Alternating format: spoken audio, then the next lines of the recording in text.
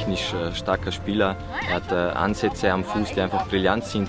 Und einfach durch diese Muster, die sich immer wieder einschleifen, hat er natürlich sich technisch nochmal von gut Richtung sehr gut verbessert. Und das ist schon wirklich eine Stärke, muss man sagen. Also er hat schon richtig was dabei, was ihn zum Kicker macht. Also er hat Spielwitz, er hat Auffassung vom Spiel.